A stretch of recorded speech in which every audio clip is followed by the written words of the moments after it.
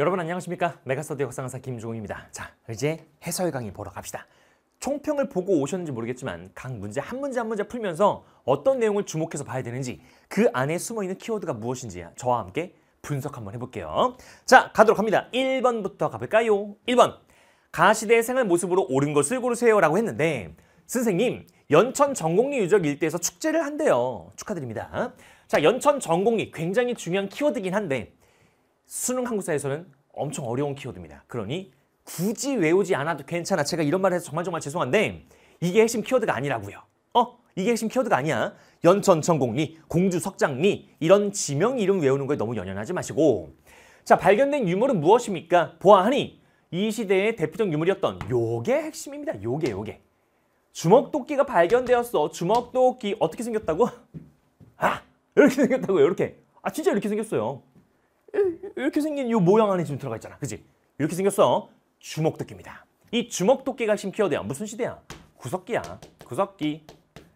구석기. 자, 뗀석기의 대표적인 거죠. 그죠? 뗀석기. 그러면 구석기 시대 생활 모습으로 옳은 것을 고르시오. 자, 1번.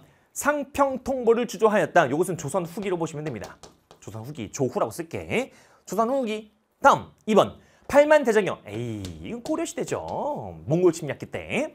3번. 비파형 동검을 제정하였다. 동검, 청동검이야. 이거는 청동기 시대가 될 거고요. 4번. 철제 농기고 아니 철제 농기고 뭘로 만들었게? 철로 만들었겠지. 철제 농기고 철기.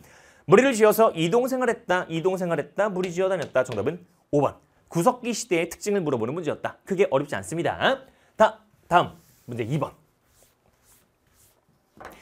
가에 들어갈 내용으로 가장 적절한 것을 고르시오. 자, 우리 보듬은 가를 주제로 발표하기로 했잖아. 관련 인물들에 대해서 조사해봤어? 응, 나는 원유에 대해서 조사해봤어. 그는 누구나 나무 아미타불을 외면은 극락에 갈 수 있다면서 아미타 신앙을 백성들에게 전해줬어.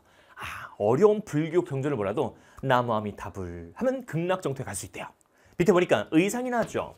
자, 원유랑 의상 둘 다 나왔습니다. 나는 의상을 조사했지. 그는 관음보살, 즉 관세음보살에게 기도하면 현세의 고단에서 벗어날 수 있다는 관음신앙을 널리 전파했어. 두 개가 짬뽕되면서 나무아미타불, 관세음보살, 나무아미타불, 관세음보살 이런 거잖아.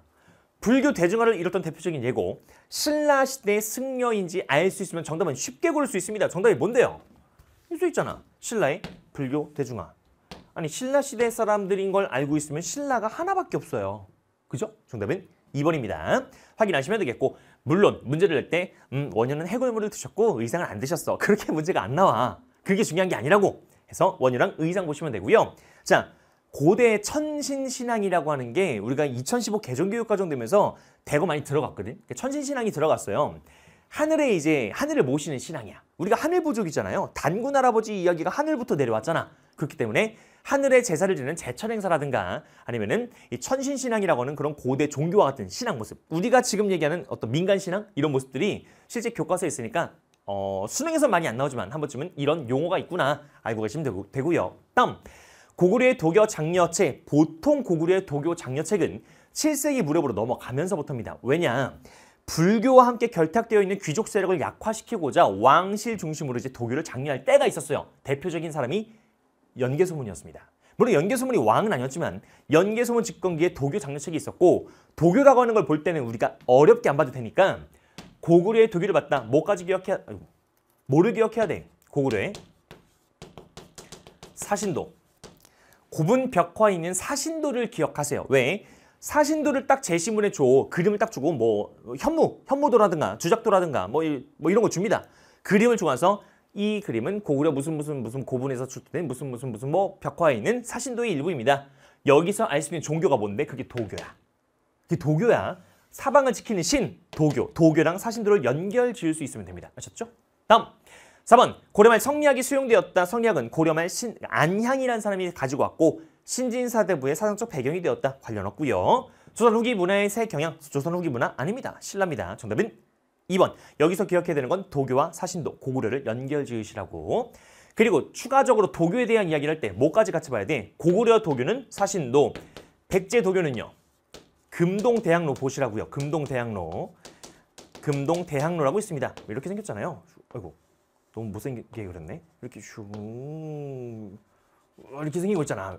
이렇게 생기고 있잖아요. 이렇게. 뭔지 알죠? 요 기억하세요. 도교입니다. 도교. 도교 말씀드렸고요.